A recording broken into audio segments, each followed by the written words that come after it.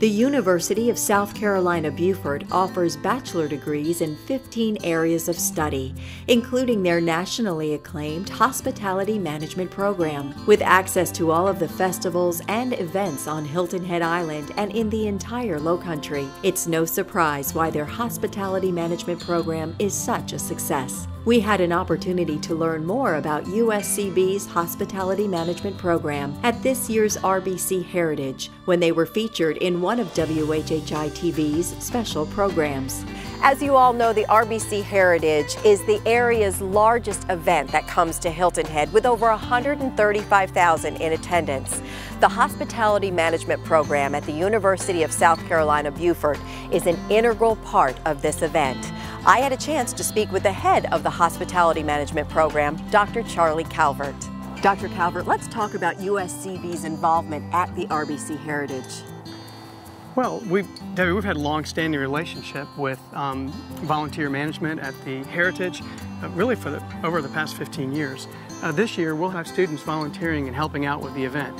We'll also be conducting research through our Low Country and Resort Islands Tourism Institute, run by Dr. John Salazar, one of my colleagues.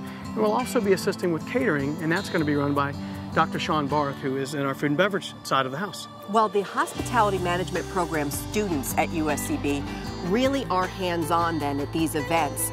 But you also have a new center for event management and hospitality training that's on Hilton Head, and that provides even more learning opportunities outside of the classroom. Please tell us about that. Sure, I'd like to tell you about our new institute. It's actually a collaboration between the town of Hilton Head Island and USCB. Um, our main purpose is to make sure that those individuals who visit Hilton Head Island continue to have an excellent and superior experience. Uh, through the Institute, we're going to work on about three things. Firstly, we will be providing volunteers for current events that are on the island throughout the year. Uh, secondly, we're going to uh, provide Hilton Head Island as a destination for event management education, certificates and short courses for individuals who want to come down and learn about that industry. And finally, we'll be assisting with event incubation. It's very important that the island stays relevant and in the future that we have events on the island that will attract new tourists and also new retirees to come and enjoy what we have to offer all very exciting for the hospitality management program here at USCB. We want to learn more about the involvement with the RBC Heritage, so let's speak with the two professors and get a little bit more about all the exciting things happening at USCB. Dr. Salazar is the professor in charge of the research here at USCB. Let's talk about that research and really how it benefits our area.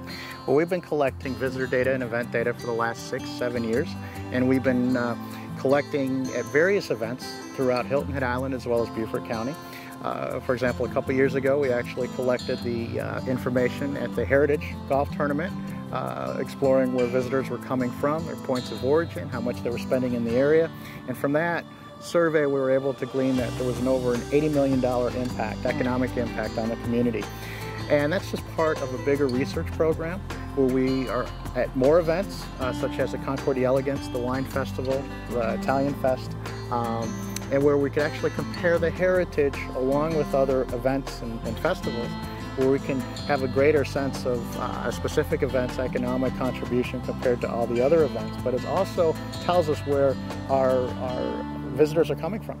Um, and so we can compare this data um, to point of origin data that the Chamber of Commerce might have as well. And so uh, that lends itself to more targeted, methodical um, advertising strategies, if you will, because there are certain markets that overlap.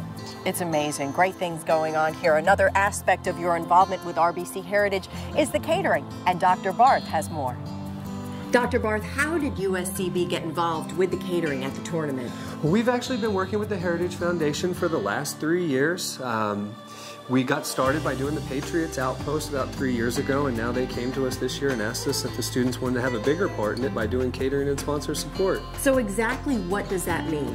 Uh, we will be assisting the caterers and the sponsors with any of their needs, from helping them get an extra bag of ice to making sure that the sponsors know where to park and actually get to their skyboxes. And how many students do you actually have involved in this in this program? Um, overall, with the catering and sponsor support, we'll have 10 students involved. Overall, USCB will have close to 40. Wow. That's great. Let's talk a little bit too about the Patriots Outpost. The Patriots Outpost is a great venue for both active and veteran military and their families. Uh, it provides them a location on the 16th green this year to, to kind of hang out and enjoy the tournament the way that others get to enjoy it. And there's food and drinks and all of that is donated, correct? Yes, ma'am. It's donated by local businesses. The skybox and all the food and beverage is, is all donated, so they just get to come and enjoy. That is awesome. Well, good luck at this year's event. Thank you. Thanks to all of the professors for their insight. If you're interested in a hospitality management program, there's never been a better time to look at USCB. To learn more, visit uscb.edu.